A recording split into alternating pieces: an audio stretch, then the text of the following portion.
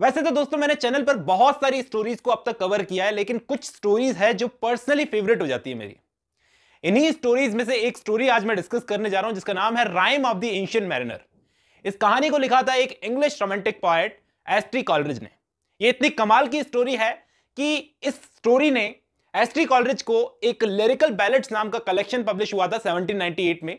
उस कलेक्शन का स्टार बना दिया था। और दोस्तों, ये इतनी कमाल की स्टोरी है कि सीबीएसई के सिलेबस में भी इसको शामिल किया गया था। चलिए मैं डायरेक्टली कहानी शुरू करता हूँ। कहानी शुरू होती है एक एंशियंट मैरिनर से, जो देखने में एक पुराने जहाज़ का कप्तान लग रहा था। उसकी बड़ी बड़ी ग्रे दाढ़ी थी, उसकी चमकती हुई आँखें थी। अब तीन वेडिंग गेस्ट थे जो अपने दोस्त की शादी को अटेंड करने के लिए जा रहे थे। तो उन तीनों में से एक को इसने पकड़ लिया। मतलब जान से मारने के लिए नहीं पकड़ा था, उसे अपनी कहानी सुनाना चाहता था ये। कि सुन, एक कहानी सुनाता हूँ। एक जहाज़ था तो इसने कहा, क्या भाई? मुझे मेरी दोस्त की शादी में जाना है, बहुत जल्दी है, हट मेरे रास्ते से। अब दोस्तों, अचानक से आप सोचो, आपके साथ ऐसा हो कि एक अजीब सा आदमी आकर आपको पकड़ ले और अपनी कहानी सुनाना शुरू कर दे तो आप क्या करोगे? एक ऐसा आदमी जिसकी लंबी लंबी दाढ़ी है, देखने में बिल्कुल भूतिया सा लगता है और उसकी आँखें चमक रही है तो आप क्या करोगे? आप कहोगे, हट मेरे रास्ते से। वैसा इसने किया कि मुझे कोई इंटरेस्ट नहीं है, तेरी कहानी सुनने में तो हट जा मेरे रास्ते से। क्यों टाइम खराब कर रहा है मेरा? लेकिन इसने वेडिंग गेस्ट का हाथ अपने दुबले हाथ से पकड़ लिया कि तुझे जाने तो नहीं दूँगा। तुझे मेरी कहानी सुननी पड़ेगी। सुन मेरी कहानी, एक जहाज़ था। इसने कहा, छोड़ मेरा हाथ, मुझे जाने दे। क्यों मेरा टाइम वेस्ट कर रहा है?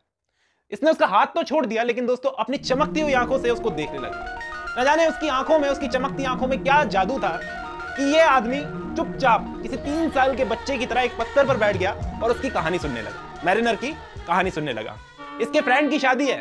अंदर से शहनाइयाँ बजने की आवाज़ आ रही है, लेकिन ये उठकर जा नहीं सकता था। अब उस बेचारे के पास चॉइस भी क्या थी? वो चुन नहीं सकता था बस सुन सकता था। चुपचाप बैठकर पत्थर पर वो कहानी सुनने लगा कि अचानक अंदर से शहनाइयों की आवाज़ आने लगी। मतलब शादी शुरू हो चुकी थी। और ये यहाँ पर इस बुड्ढे की कहानियाँ सुन रहा था। तो अब वो मैरिनर अपनी कहानी शुरू करने लगा कि हमारा एक जहाज़ था जो अच्छे खासे मौसम में निकला था। तभी अचानक मौसम खराब हुआ और हम लोगों का जहाज़ साउथ की डायरेक्शन की तरफ़ चलने लगा। मतलब साउथ की डायरेक्शन की तरफ़ बढ़ने लगा और तूफ़ान में फंस गया। चारों तरफ़ बर्फ़ थी, डर का माहौल था, कोहरा था। हम लोग सारे के सारे डर गए थे। हम लोग बहुत बुरी तरीके से फंस गए थे। हमारे चारों तरफ़ बर्फ़ टूटने की भयानक आवाज़ें आ रही थी। हम लोग बहुत बुरी तरीके से टूट गए थे। पानी बहुत ठंडा था, बर्फ़ के चारों तरफ़ ग्लेशियर्स थे और चारों तरफ़ बर्फ़ के टूटने की आवाज़ें आ रही थी भयानक। अंदर तक हम लोग सहम गए थे कि आज तो हमें कोई नहीं बचा सकता। आज तो हम मरेंगे। ये तूफ़ान हमें ले डूबेगा। तभी अचानक ऐसे डर के माहौल में न जाने ऐसा क्या हुआ, ऐसा लगा जैसे ज़िंदगी लौट आई हो। हमारे जहाज़ पे पता नहीं कहाँ से एक अल्बेट्रॉस, एक पक्षी जो समुद्र में उड़ता है, जिसका नाम है अल्बेट्रॉस, उड़कर आया और हमारे जहाज़ पर आकर बैठ गया। उसके आने से हमारा जहाज़ जो डगमगा रहा था, सही डायरेक्शन में आ गया। एंशियंट मैरिनर क्या बोलता है कि मेरे साथ के मेंबर्स यानी क्रू मेंबर्स जो उस जहाज़ पर मेरे अलावा मौजूद थे, उन सबको लगा जैसे ये एल्बर्ट रॉस हमारी ज़िंदगी बनकर आया है। एक नई उम्मीद मिली उनको ज़िंदा रहने की, कि अभी तक जब हमको लग रहा था इस तूफ़ान में हम लोग बचेंगे नहीं, मर जाएँगे, ये एल्बर्ट रॉस जैसे ही आया, इस जहाज़ पर कंट्रोल आ गया। ये हमारा गुडलक बन के आया है, सौभाग्य बनकर आया है। तो वो लोग क्या करने लगे, उस एल्बर्ट रॉस को खिलाने लगे, पिलाने लगे, और एल्बर्ट रॉस भी बड़ा खुश था। वो रोज रोज हमारे जहाज़ पर आने लगा। पूरे जहाज़ पर सब लोग बड़े खुश थे। उस एल्बर्ट्रॉस को भी मज़ा आने लगा था। वो भी रोज रोज उड़कर आता और जहाज़ की छत पर आकर बैठ जाता। उसे भी लग रहा था जैसे ये खेल की तरह है। अब ये एंशियंट मैरिनर उस वेडिंग गेस्ट को क्या बोलता है? लेकिन एक दिन मेरे हाथों से एक पाप हो गया।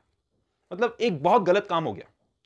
एक दिन वो एल्बर्ट्रॉस आकर उस जहाज़ की छत पर बैठा था मेरे दिमाग में पता नहीं क्या आया, उस वक्त मैं क्या सोच रहा था कि मैंने अपना क्रॉसबो क्रॉसबो एक टाइप का हथियार होता है दोस्तों, धनुष जैसा। इसने वो हथियार उठाया और उस एल्बर्ट रॉस को मार दिया। इसका अंजाम इसने सोचा नहीं था कि क्या होने वाला है। उस एल्बर्ट रॉस ने इसका कुछ नहीं बिगाड़ा था। कुछ भी इसको बोलता नहीं था, वो एल्बर्ट रॉस परेशान नहीं करता था। इसके दिमाग में बेवजह पता नहीं क्या आया, इसने उस एल्बर्ट रॉस को मार दिया और उसका अंजाम ये जानता नहीं था कि क्या होने वाला है। अब जब इसके साथी मेंबर्स ने क्रू मेंबर्स ने देखा कि एल्बर्ट रॉस मर गया, उसको मार दिया मैरिनर ने तो वो लोग ये देखकर डर गए कि ये तुमने क्या कर दिया? इसको क्यों मारा? इसने तुम्हारा क्या बिगाड़ा था? अरे तुमने क्या कर दिया? तुमने बहुत बड़ी गलती कर दी। अब नेचर हमसे बदला लेगी। हम लोग इसी की वजह से तो बचे थे तूफ़ान से। तुमने इसको क्यों मारा? मैरिनर के साथी क्रू मेंबर्स ने ऐसा सोचा कि अब नेचर हमसे बदला लेगी। हम लोग जो तूफ़ान में फंसे हुए थे, वापस तूफ़ान में फंस जाएँगे। लेकिन हुआ बिल्कुल इसका उल्टा। ये तूफ़ान में तो फंसे नहीं, ऊपर से आसमान में बादल साफ़ हो गए। मौसम साफ़ हो गया, जो थोड़े बहुत बादल भी थे, वो भी साफ़ हो गए। तो साथी क्रू मेंबर्स ने देखा, ये तो बढ़िया हुआ। भाई, तुमने एल्बर्ट रॉस को मारकर सही किया। ऐसा लग रहा था जैसे यही पनौती था जो इस जहाज़ पर आता था, जिसकी वजह से हमारा जहाज़ इस तूफ़ान में फंसा हुआ था। तो तुमने सही किया, इसको मार दिया। अच्छा किया। अब कहीं ना कहीं इसके साथी क्रू मेंबर्स ने उसकी तारीफ़ करके मैरिनर की तारीफ़ करके कि तुमने एल्बर्ट रॉस को मारकर अच्छा किया, खुद को भी उसके पाप में भागीदार बना दिया। क्योंकि इन सबको पता नहीं था कि प्रॉब्लम अभी आई नहीं है। प्रॉब्लम अभी आने वाली है। और छोटी मोटी प्रॉब्लम नहीं आएगी। प्रॉब्लम बहुत बड़ी आने वाली है। मौसम साफ़ तो हो गया, लेकिन कुछ ज़्यादा ही साफ़ हो गया। हवा भी चलना बंद हो गई। ऊपर सूरज आसमान में तपने लगा था और आसमान बिल्कुल ऊपर छाया हुआ था उनके तेज धूप तपने लगी और हवा नहीं चल रही थी। हवा से इनका शिप आगे बढ़ रहा था, वो हवा भी थम गई थी।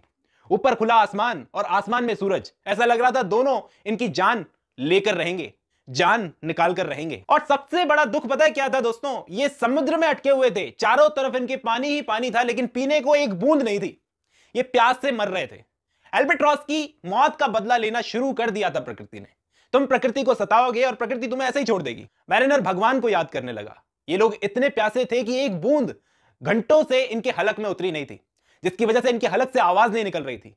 जहाज़ पर सब लोग कीड़े मकोड़ों की तरह नहीं रहे थे और गुस्से में घूर रहे थे मैरिनर को कि तुमने उस एल्बेट्रॉस को मारा और तुम्हारी वजह से ऐसा हुआ है। ये लोगों का बस चलता तो मैरिनर को वहीं मार देते, लेकिन इन्होंने ऐसा कुछ नहीं किया।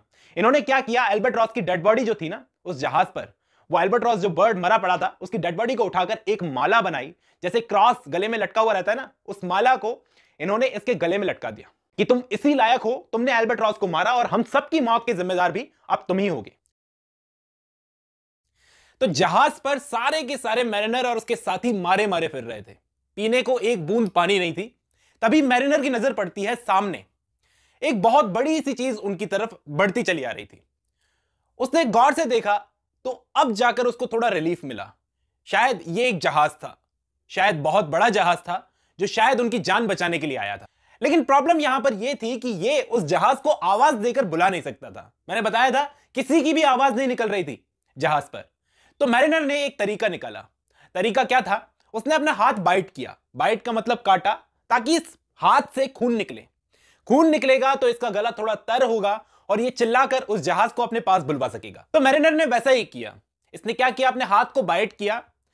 तो खून निकला, खून को चूसा, जिससे इसका गला थोड़ा सा गीला हुआ और ये चिल्लाया कि हम लोग यहाँ पर फंसे हुए हैं, हमें आकर बचाओ।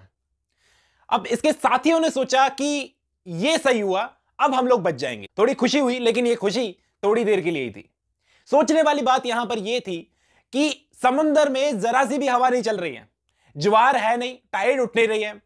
जब इनका जहाज़ एक जगह से दूसरी जगह हिल नहीं रहा है तो एक बड़ा सा जहाज़ इनके पास आ कैसे रहा है? हाँ दोस्तों, ये एक घोस्टली शिप था, एक भूतिया जहाज़। और वो देखने में जहाज़ भी नहीं लग रहा था दोस्तों। देखने में लग रहा था जैसे वो जहाज़ का कंकाल है, जहाज़ का स्केलेटन उसके अंदर दो ही लोग बैठे हुए थे, पहला तो डेथ और दूसरी थी लाइफ एंड डेथ जो कि एक औरत थी, जिसके होठ लाल थे, बाल पीले थे और फेस जो था वो व्हाइट था। देखने में कितनी भयानक लग रही होगी दोस्तों। इमेजिन करो। अब जैसे जैसे जहाज़ करीब आ रहा था, इनकी तरफ़ बढ़ रहा था तो मैरिनर ने नोट किया कि जहाज़ के अंदर जो दो लोग बैठे थे डेथ और लाइफ एंड डेथ दोनों बैठकर डाइसिंग का गेम खेल रहे थे। डाइस का गेम होता है ना, पासा फेंकने वाला। दोनों जुआ खेल रहे थे कि किसकी हम जान लेंगे, कौन डेथ के पास में जाएगा और कौन लाइफ एंड डेथ के पास में जाएगा। तो दोस्तों मैरिनर जो था ना, उसकी सोल को लाइफ एंड डेथ ने जीत लिया। और मैरिनर के सारे साथी डेथ ने जीत लिए।